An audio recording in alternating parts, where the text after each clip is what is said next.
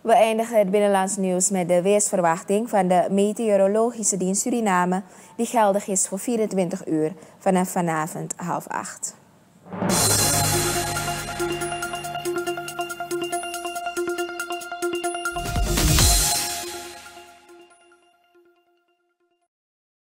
Aan het eind van de nacht ontstaat er nevel overwegend in bosrijke gebieden.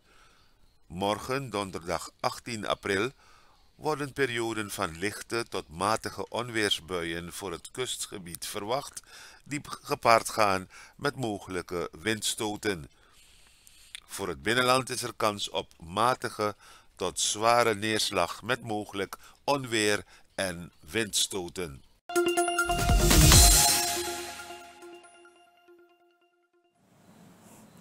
De meteorologische dienst waarschuwt dat er morgen kans is op windstoten die gepaard gaan met onweersbuien.